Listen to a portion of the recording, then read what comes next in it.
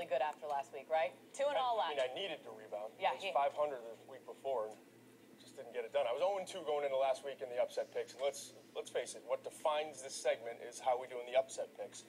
So we